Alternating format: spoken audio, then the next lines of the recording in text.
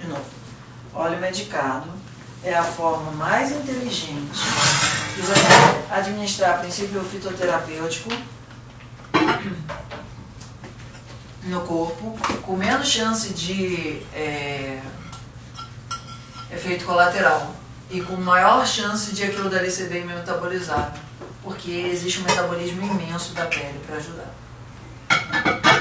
O estômago é relativamente pequeno perto do tamanho da nossa pele. Ok? Então, é, no início a gente começa a fazer massoterapia no Ayurveda porque acha legal, porque acha bonito, porque acha gostoso, porque acha que relaxa, etc. E tal. Isso tudo é verdade. Mas quando você vê o que, que as pessoas fazem em termos de terapia e de revolução no sistema da pessoa através de óleo medicado, aí tem que ser mais no sul daí, de norte daí não faz assim não. Você começa a ter um nível diferente de respeito. Hoje em dia eu só atendo com óleo medicado é, profissional mesmo. E é, o resultado entre você fazer uma autoleação com óleo de arginina e fazer com óleo medicado é substancialmente diferente. Então vou dar uma informação agora para a galera que já está pronto para escutar esse tipo de coisa que é. No Ayurveda, para você falar de uma maneira assim mais de verdade, você tem que fazer a oleação com óleo medicado todo santo dia. Okay? Se você achava que a informação de ser com óleo de gergelim comprado machisticamente já era uma coisa animada na sua vida, para Ayurveda a gente tem que é, organizar o nosso corpo muito através da pele que é um metabolismo muito inteligente. Mas eu só dei essa informação, assim, agora vocês vão ficar um, dois, três meses digerindo ela, por enquanto a gente vai aprender a fazer o óleo de nasce. O que já é uma coisa bem legal. Porque você faz isso, sei lá, em um dia, seja, uma quantidade que vai dar provavelmente para uns três, quatro meses numa boa. Okay? Como é uma quantidade muito pequena que a gente vai usar no nariz, dura muito. Para você fazer com o teu corpo, aí ó, Aí é missão. Missão final de semana de chuva, viva eu ver. Ok? Bom. Ah, dá pra fazer num dia, não dá? Depende da quantidade que você vai fazer, tá? Mas eu queria saber a diferença do, do processo. Vamos falar sobre ele. Estamos aqui para isso, ok? Então, atenção, momento, Nácia! Como vocês vão ver, mais pra frente, Nassa é nariz. O NAS é um procedimento que a gente faz através do, do nariz, também chamado de chirovirete. Mas deixa isso por hora de lado, depois eu vou falar mais sobre o NAS. Aqui eu quero falar sobre a medicação do Então nós temos um amigo chamado X, um outro amigo chamado X sobre 4 e um outro amigo chamado 4X. Ok? Todos vivos até aqui? Uhum. Por que, que o X está no meio? porque aqui é a quantidade de óleo que você vai ter no final. Então, se você está fazendo óleo medicado, ah, o parâmetro base é o óleo medicado, certo? O que, que é quatro vezes o óleo medicado? É o, o decocto. E o que, que é um quarto disso? São as ervas. Então, atenção, matemática avançada. Daqui para cá são 16 vezes. Se você não acredita, depois você pode fazer na calculadora, mas são. Tá? Então, muitas vezes você vai encontrar gente falando que é 1 para 4 para 16, que é a mesma coisa. Só que o nosso foco aqui é, normalmente assim, quanto é que cabe nessa panela? Nessa panela cabe mais ou menos 2 litros de água. ok? Então a gente foi pelo tamanho da panela. Então a gente fez a seguinte conta: 120 gramas. Isso daqui vai, vai ficar no final, vai ficar 4 vezes isso. 480. E. Gramas? É. A gente trabalha tudo em peso. Ah, tá? não em volume. É. Dois no caso do óleo é 0,9, se ah. você quiser. Tá? É, e aqui, a princípio, a água, e isso daqui é um prão, né? A uhum. água e, e, não é, a densidade é 1 na água. Então isso daqui vai ser 16 vai dar 1920, confere? Gramas, que é igual a mililitros de água. Se for de leite, muda. Ok? Água. Ah, bota água? É pra Calma. fazer. Calma. Só que isso é a forma é, de medicar óleo para o corpo. Quando a gente for medicar óleo para náusea, a gente precisa dividir isso daqui por dois. E fica 60 decúbito e 60 bolinha. Certo? Hum, como assim? Hum, vamos lá. Temos aqui nossa receita de é, anotar ela na Namastê. Calma, todo mundo vai sobreviver até o final. Não se preocupa que isso vai ser repetido ainda outras vezes. A gente tem, a princípio, 40 gramas de ELA, que é o cardamomo. Pó? Pó. 40 gramas de vachá, que é o cálamo. Mas esse pó você tem que bater, né? Você compra. Aqui no herborista a gente consegue comprar ele inteiro, tá? 20 de centelha e 20 de é, ginkgo biloba, que é um composto que eu chamo de antifadiga. Então, aqui tem a centelha no WhatsApp de vocês, tá como é, gotucola, mas às vezes é na chamada de Manduca Parne também, não vou entrar muito nos detalhes não. E o outro que é a ginkgo biloba e a ginkgo biloba.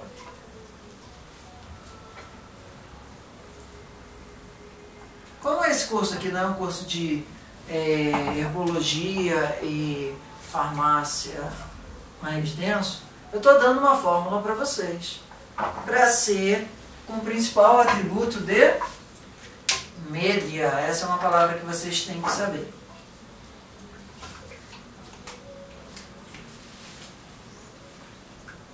A gente pode chamar o nome comercial dele ser Média Taila.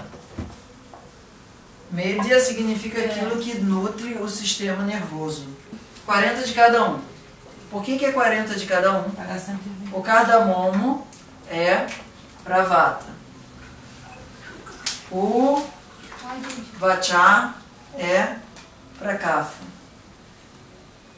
E o Goto, o, a centelha e, o, e a ginkgo são para Pita.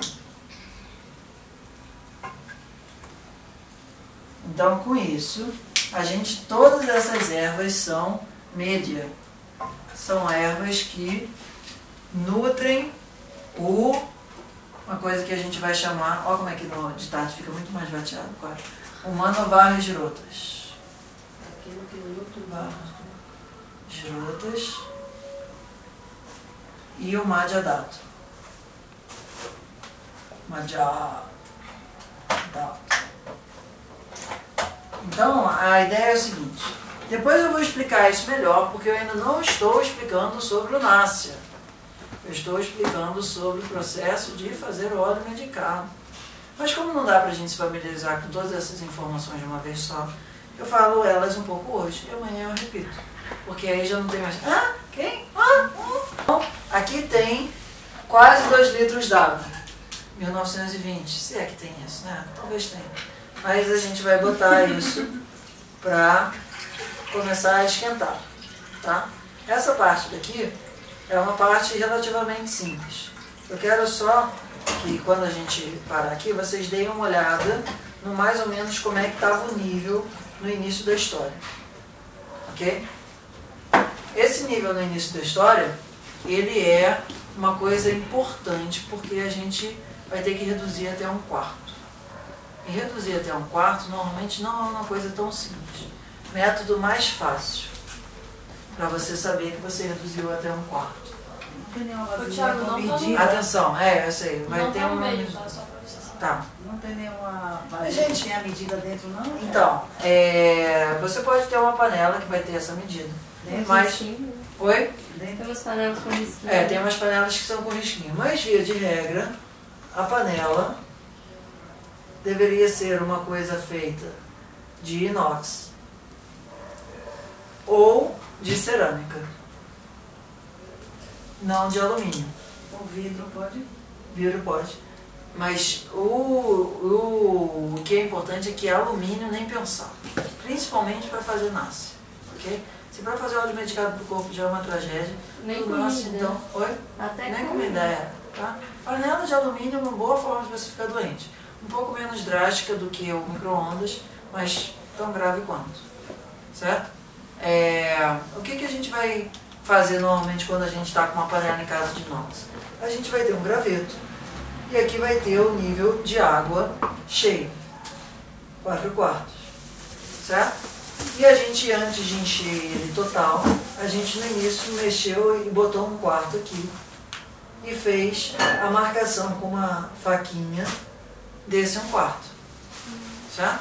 Depois de um tempo você aprende a fazer isso molhando. Mas no início é bom você fazer tipo que nem vara de pescador, que vê qual é a altura que está no chão do barco passar. Você sabe o que ele está falando, né?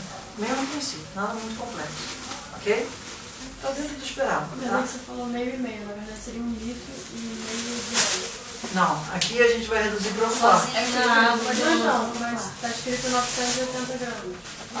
480. Ah, tá. Desculpa. De 4. É, e aí, na hora que a gente for medicar, a bolinha vai aparecer. Na hora que a gente for misturar a água com dentro do corpo, a bolinha vai aparecer. Certo? Então, isso daqui, a princípio, vai aparecer amanhã. Certo? Tudo bem? E normalmente demora quanto tempo, mais ou menos, pra essa Depende quantidade? do fogo. Mas é o Depende. fogo mais baixo possível, né? A princípio, no Ayurveda, isso é uma informação importante. Se você puder fazer no fogo baixo, é bom. A não ser que você queira coisas que sejam extremamente anticáfilas. As coisas que são nutritivas, como é o laço que a gente quer, e coisas que são para membranas suaves, você fazer isso no fogo baixo tem um atributo de lento. E o atributo de lento vem, vai proporcionar o quê? Cafra, nutrição. Se você quer uma coisa que seja extremamente pita no sentido da pessoa, você vai fazer aquilo no alcoólico. Você vai, tipo, destilar o negócio do álcool. Entende? Como é que aqueles atributos aparecem na prática? Você olha para aquilo e fala, qual é o atributo que eu consigo jogar aqui? E aí você pensa em termos de Vata Pitikafa. Vata Pitikafa não é uma definição abstrata. Vata Pitikafa você tem a sua lupa das 20 características e a tua vida, a partir de então, é vivenciada a partir de 20 letras. E com essas 20 letras, você escreve todo o código genético completo, porque elas representam os 20 aminoácidos. Pelo menos o Vacentilado já acredita nisso, eu acho que tem algum sentido. Mas, aqui agora, eu vou pegar essas 20 aí e misturar. E só, é, a princípio, eu aquece- acender isso, para vocês falarem, oh, tá ensaiado? E aí, depois disso, a gente leva isso para a cozinha, tira isso daqui e ele fica reduzindo até um quarto. Ok?